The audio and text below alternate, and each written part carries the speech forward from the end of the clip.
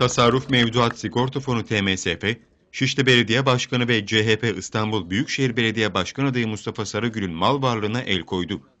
Sarıgül'ün mal varlıklarına el konulma nedeni ise 1998 yılında Bank Express'ten 9 kişiyle beraber çekilen 3,5 milyon dolarlık kredinin geri ödenmemesi.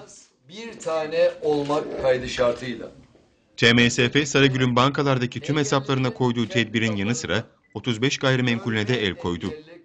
Sarıgül'ün avukatları ise TMSF binasına giderek kararın değiştirilmesi için çalışmalarını sürdürüyor. Esnaflarımızın ürettiği bütün ürünler gerçekten